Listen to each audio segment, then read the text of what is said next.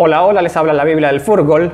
Del Furgol en este video vamos a hablar de cambios eternos, de la previa Uruguay y de lo lindo que se ve esta pizarra.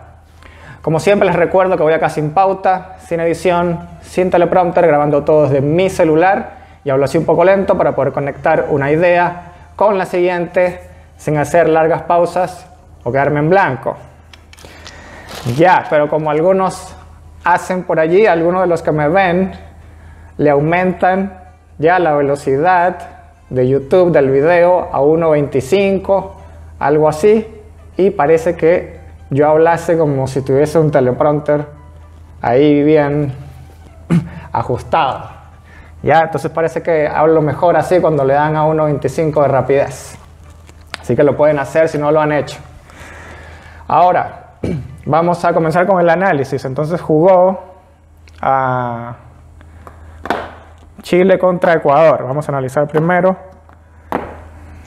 ese partido, donde habíamos dicho que la debilidad de Ecuador y la debilidad de Rueda también era entre medio del central y del lateral.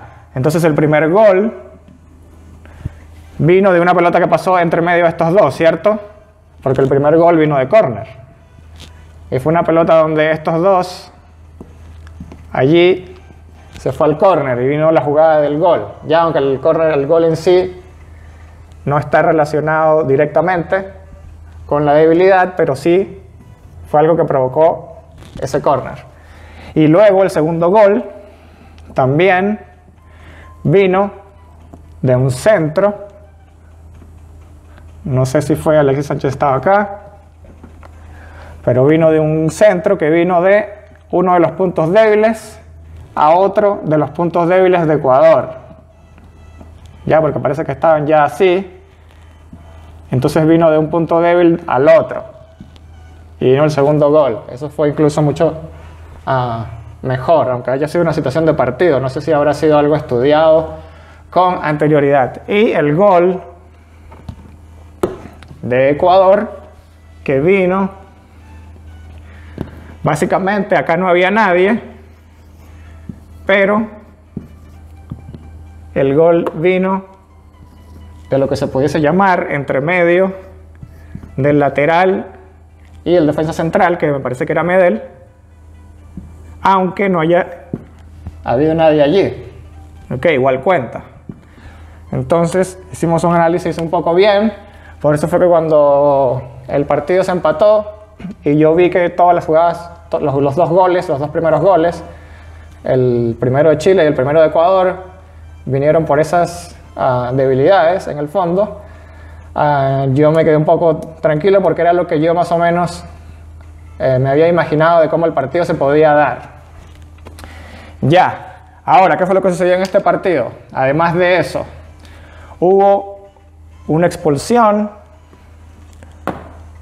o sea, hubieron dos expulsiones que no se concretaron. La expulsión al primer minuto de partido ya del jugador de Ecuador y la expulsión de Arias, ¿cierto? Pero en los primeros minutos de partido ese jugador si lo hubiesen expulsado, quizás Ecuador hubiese corrido la misma suerte como le ocurrió contra Uruguay, hubiese recibido muchos goles, ¿cierto? Pero al final el árbitro como que estaba muy, el arbitraje fue un poco extraño, pero al final podríamos decir que utilizó la misma mano para los dos equipos. Luego sí hubo un jugador de Ecuador que se fue expulsado, que se fue expulsado, por eso fue ya en los últimos minutos, entonces ya básicamente no se pudo sacar provecho de ese jugador extra. Ok, ¿cuál es el problema del equipo de rueda que estamos viendo? Además de lo que habíamos analizado de los, de los amistosos, los cambios. Se tardan mucho los cambios en llegar. O sea, ya veíamos por acá a Isla, que estaba muy cansado y que Fuensalida tenía que bajar mucho. Eso ocurrió también en el primer partido contra Japón. Lo que pasa es que lo, escribí en el Twitter, pero no lo expliqué acá en el análisis del partido. Ok, entonces, ¿qué hace él? Cambia, sustituye, a, pesar de que el que está más cansado es Isla, él sustituye a Fuensalida para dejar un poco a Isla por acá para que haga un poco más labor defensiva. Ya, entonces tenemos un, tendríamos, en ese caso, tenemos un defensor más. En cambio, si él sustituye a Fuensalida derechamente, a Isla derechamente, solo tendríamos un cambio de jugador por jugador y todo seguiría igual. Entonces, básicamente, él lo que está haciendo es eso, pero es muy notorio que Isla queda muy cansado y no me parece que incluso sea un buen cambio, porque al final, en el partido contra Japón no se notó tanto, pero en el partido de ayer veíamos a Isla que se trataba de ir un poco más al centro del campo para presionar o para tratar de quitar un balón y básicamente su aporte era nulo. Básicamente era muy poco el aporte. Entonces en ese caso es mejor que deje allí derechamente a que haga el cambio derechamente con Isla y que deje a Fuensalida un poco más adentro y que haga una presión normal. ¿Ya? Lo otro es que los dos partidos, los cambios han sido para colocar al equipo más defensivo, que es donde tenemos mayor calidad de jugadores. Pero esto ha sido, por supuesto, ayudado con colaboración de que los mejores jugadores que tenemos de mayor calidad son defensivos. Entonces, ¿qué va a ocurrir cuando el equipo esté ah, perdiendo en el marcador? No sabemos. Entonces él tiene que empezar a, sustituir realmente a Isla, que es el que está cansado y es el que está provocando problemas por acá, porque hace que Fuensalida se canse aún más, lo hace trabajar mucho más a Fuensalida. ¿Ok? Entonces se tardó mucho en hacer los cambios. Tardó mucho en hacer los cambios. Esto es un problema, porque también ocurrió con Vidal y con Alexis Sánchez que, por ejemplo, la amarilla que recibió Vidal. ¿Por qué?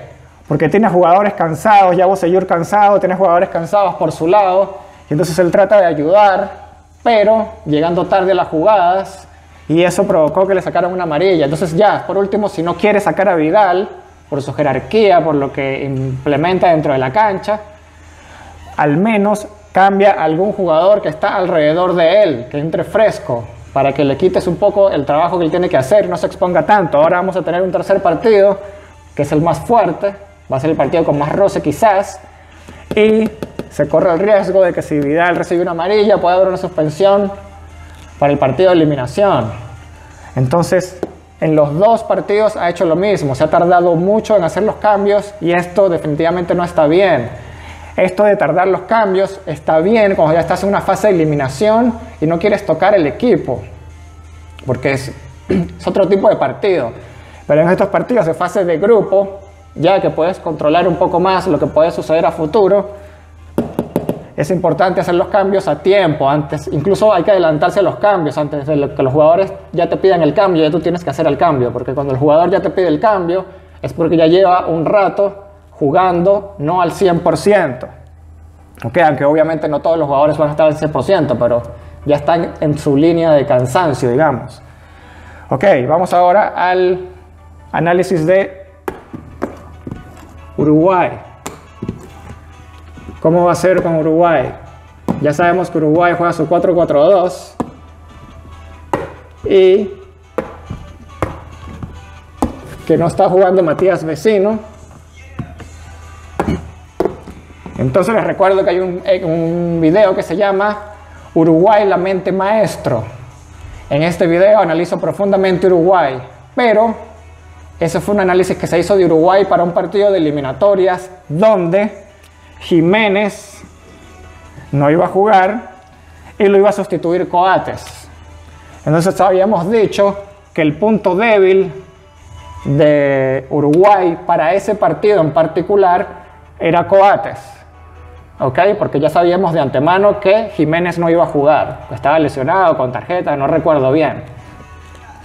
Y los tres goles de Chile, o al menos creo que dos de Alexis Sánchez, vinieron por el lado de Coates.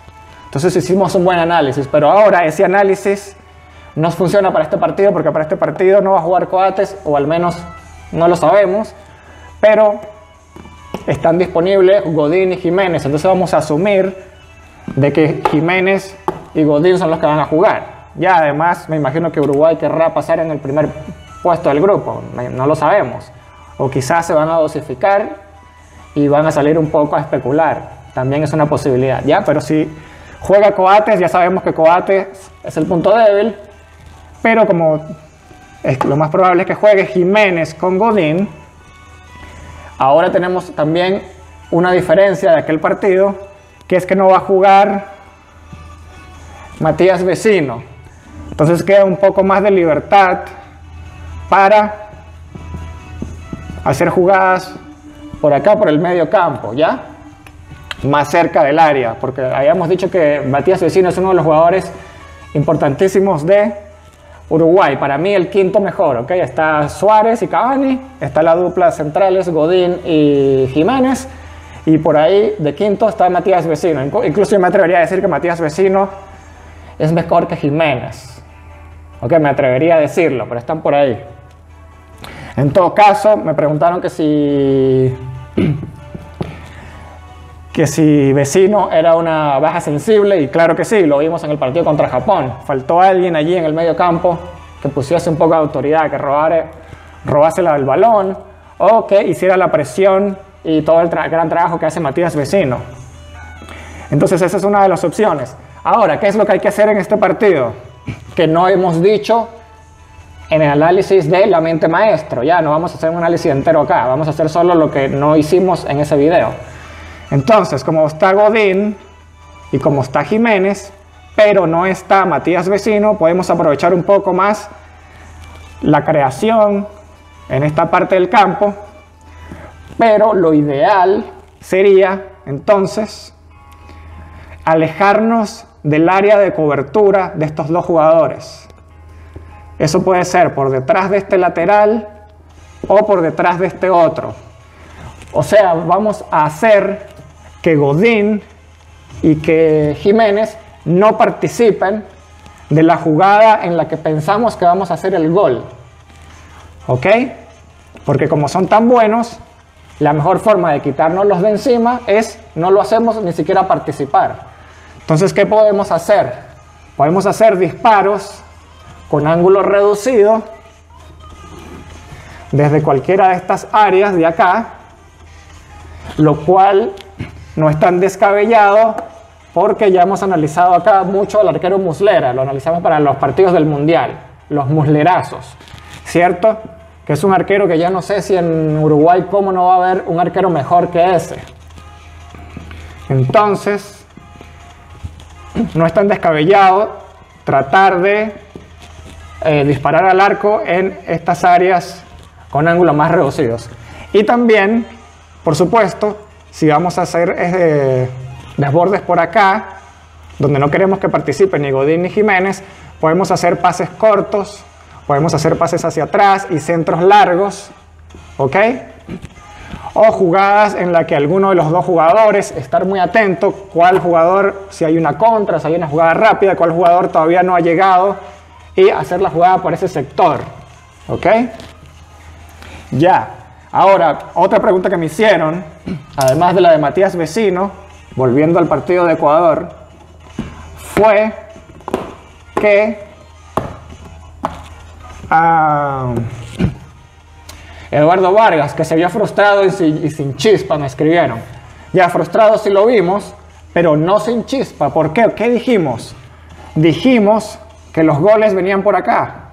El punto débil de Ecuador es acá y acá, y que lo ideal sería irse entre medio de estos dos. Entonces, ¿dónde está ubicado eh, Eduardo Vargas? Acá. Entonces, ¿cómo va a hacer gol él allí? Obviamente se va a frustrar. Se va a frustrar. ¿Ok? porque Reinaldo Rueda no le dijo, o quizás no se lo dijo para que hiciera su mejor esfuerzo, pero ya después del partido le tiene que decir, oye, y vi que te frustraste, no te frustres, porque fíjate que no te dije nada antes del partido para que hicieras tu mejor esfuerzo, pero ahora te lo digo. Por acá es muy difícil hacerle gol a Ecuador, es solamente por acá su punto débil. Por eso no hiciste gol. La única forma que, tuviese, que hubieses hecho gol era así. Te movías o yo te movía para alguna de los dos lados, pero no podía hacerlo porque necesitaba alguien allí de igual forma. Ya, entonces no fue que no tuvo chispa, fue que simplemente la del partido táctico no era para que Eduardo Vargas hiciera goles. ¿Ok? Creo que esas son todas las preguntas que, que me hicieron. Y como siempre voy a recordar un poco lo más importante de lo que se mencionó en el análisis de Uruguay. Disculpen que me salté un poco eh, la línea, de, me volví al tema de Ecuador, pero fue porque me, recordé esa pregunta que me hicieron por Twitter. Ya, que es lo otro importante con Uruguay? Godín, vamos a hacerlo con Uruguay, lo estamos haciendo con verde. Godín, y Cavani. ¿Qué fue lo que dijimos en el video de Uruguay la mente maestro? Que el juego mental, las simulaciones, Cavani, durante la eliminatoria de Rusia 2018, contamos una cantidad innumerable de simulaciones que cambiaron muchos de los partidos claves que Uruguay ganó. Ya sea por expulsión, ya sea por tarjeta amarilla o ya sea por momento del partido que cambió o que afectó el humor, el estado de ánimo del jugador, de los jugadores o de algunos jugadores del equipo rival. Incluso Chile fue víctima de eso en el primer partido donde expulsaron a Valdivia. ¿Ok? Entonces no hay que caer en el juego mental de Godín y Cavani. ¿Ok? Ya sabemos que, que Suárez las va a llorar todas al árbitro, ya sabemos que Cavani va a tratar de simular, ya sabemos que Godín va a tratar de hacer problemas. ¿Ok? Entonces tenemos que manejar muy bien eso. Además, es un partido donde eh, ya estamos clasificados y básicamente vamos a pelear por el primer puesto, por lo cual solo se necesita un empate. Entonces no sé con qué equipo puede salir Rueda. Él pudiese salir con derechamente, darle descanso ya a Bocellur y Isla y salir con Pablo Díaz, salir con Opaso ya Quizás le puede dar descanso a Maripán y entrar con Jara. Ok, aunque no sé si Jara, Cavani, no sé si será buena idea para este partido. Pero sí sería bueno quizás darle un descanso a Maripán también. Y quizás jugar, dependiendo si lo que el técnico quiere es salir al empate o salir a ganar el partido, jugar un 4-4-2. Darle descanso a Vargas o darle descanso a Alexis Sánchez. ¿ok? Y jugar con uh, Arangues, Vidal, eh, Pulgar y Valdés. O si no, derechamente puede jugar acá con un doble 5 y puede jugar con Valdés y Pedro Pablo Hernández, que si lo que estamos buscando es un empate, puede irse con Pedro Pablo Hernández, donde Pedro Pablo Hernández puede jugar como en el medio del campo y hacer a veces una especie de centro delantero por su altura. Ok, ya sabemos que él no cabecea muy bien, pero eso puede hacer que atraiga por su altura a los dos mejores jugadores, bueno, los dos mejores en defensa de Uruguay, que son Jiménez y Godín, Pedro Pablo Hernández, solamente por su presencia, ya ellos no tienen por qué saber que él es malo, que no sabe cabecear. Además, como siempre digo, ese puede ser el día en que él juegue el mejor partido de su vida y convierta de cabezazo. Eso, no lo sabes cuándo va a cabecear bien o no. ¿Ok? Entonces esa es una posible eh, sugerencia que le hacemos, aunque lo ideal siempre es salir a ganar y ya después, dependiendo de cómo se da el partido, buscar ah, adaptarse si quieres buscar el empate o no. Ok, pero también es una posibilidad para dar descanso a algunos jugadores. No sé si al Vidal va a alcanzar a jugar porque anda un poco mal, o fue Alexis Sánchez el que dijo, el que parece que estaba mal de, de, tener una fractura o algo, una cuestión, un esguince. Ok, entonces eso ha sido todo por este video. Ah, si les gustó, le pueden dar a like. No olviden suscribirse, lo pueden compartir. Eh, voy a dejar un link para algunas donaciones. También me dijeron que tratara de hacer las donaciones de otra forma, como una cuenta en algún banco o algo así. Es algo que después de la Copa América lo voy a empezar a estudiar, porque yo sé que algunos de ustedes sí me quisieran donar alguna cantidad de dinero, si sea poca, pero se les hace difícil uh, debido al sistema que estoy utilizando ahora. ¿ok? Entonces es algo que en el futuro cercano lo voy a tratar de ver. Así que se despide de ustedes la Biblia del fútbol, del fútbol.